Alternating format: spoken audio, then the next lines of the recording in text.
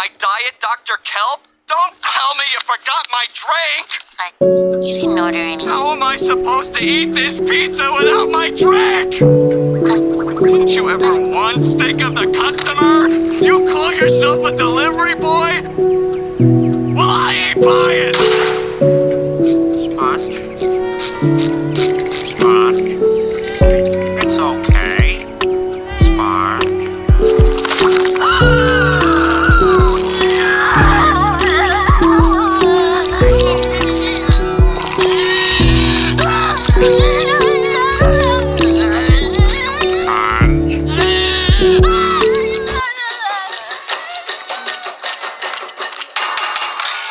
Another one?